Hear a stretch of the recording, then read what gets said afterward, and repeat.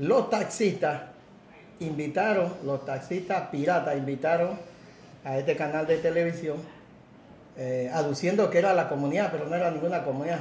Lo que pasa es que nosotros le quitamos la especulación que tenían estos taxistas con el sufrido pueblo de San Vicente, La Unión y El Milagro.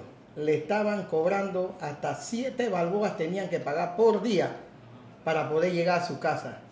Ellos me llaman a una reunión y me dicen a mí que les ayudara. Y como esa es la función mía, tanto como diputado y representante de corregimiento, es ayudar a la población, inmediatamente yo le voy a poner un bus al servicio. Ellos se comprometieron, ellos mismos, le dijeron que ellos no querían gratis, que ellos me podían apoyar para el combustible y que ellos iban a poner, aunque sea, porque yo les dije que nada, ellos me dieron que por lo menos que le dejara que ellos pusieran 25 centavos. Yo no manejo eso. Ellos mismos le echan el diésel al carro y la, misma comunidad, o sea, la comunidad está agradecida totalmente. Ayer iban a cerrar la calle por la noticia que saca, yo creo que los medios de comunicación es para informar, no para desinformar.